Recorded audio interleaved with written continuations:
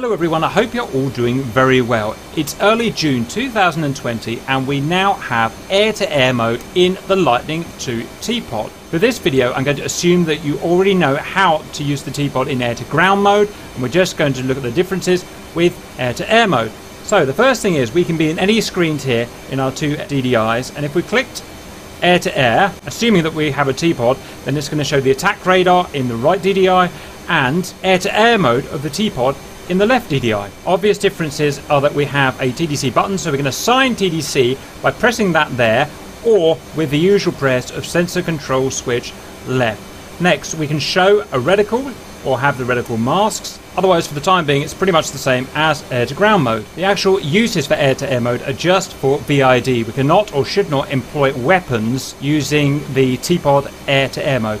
There are two ways that we can VID a target from it. In fact, there is our target there. Even fully zoomed, I cannot tell what type of chopper that is, and his IFF system is not working, so we've got to get a decent VID on him. We can either lock him in the FLIR here, and then if we want from that, we can slave our radar onto him so that we can fire a radar weapon if we want, or we can lock him from our radar first and then slave our T-pod to the radar lock that way. So we'll do the first way first. And there are two ways that we can find him on here. First of all, with VVSLV, Vertical Velocity Slave on.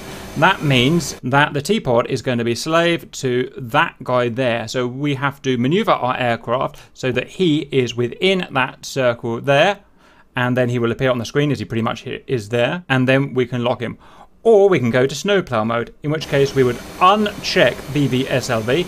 At that point, and this is a good time to go over our controls, you will use TDC left, right, up, down to slew the snowplow mode around to find him manually. To assign TDC to the left DDI, as you probably all know by now, SCS left. SCS left also doubles up as lock, so that's how we'll actually achieve a T-pod air-to-air lock once TDC has been assigned to that DDI. As well as locking, it's also unlock. As well as that, we can use our undesignate nozzle steer switch to undesignate a radar lock. And SCS right if we want to assign the TDC to the radar screen. So first, let's try snowplow mode without the VVSLV. I'm going to assign the TDC to this screen manually, like that. You can see we've got the diamond there.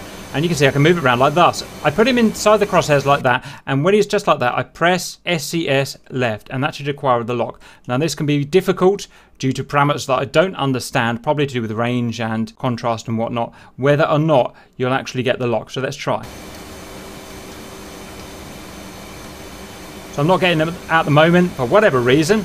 Annoying because it just worked a few minutes ago, but let's try like that. No, just whatever reason, his range, his aspect, his movement, his contrast, some reason, I'll even try FLIR quickly. Oh, got him.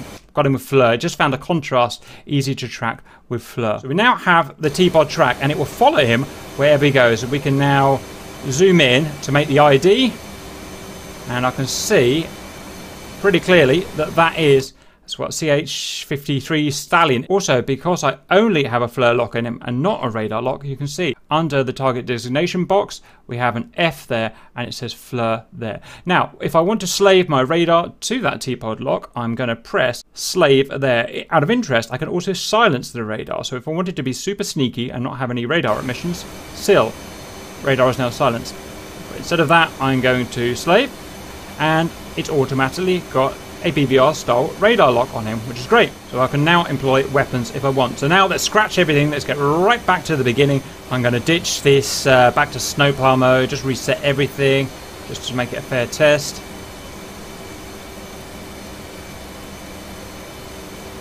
Okay, that's just back to snowplow, just pointing 5 degrees down or whatever it is, the standard.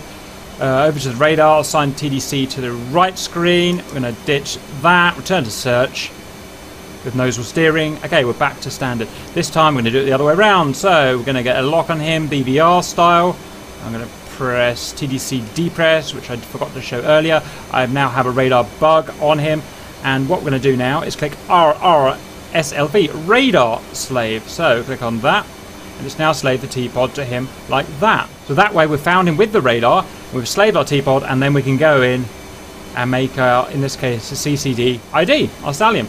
Only thing that I forgot to point out there is that if I get a FLIR lock first, then I slave the radar to the FLIR, we will get a C underneath here saying that it's a correlated lock between the FLIR and the radar. That's all we've got to show with the air-to-air -air functions of the T-Pod at this time. I hope that's useful. See you later.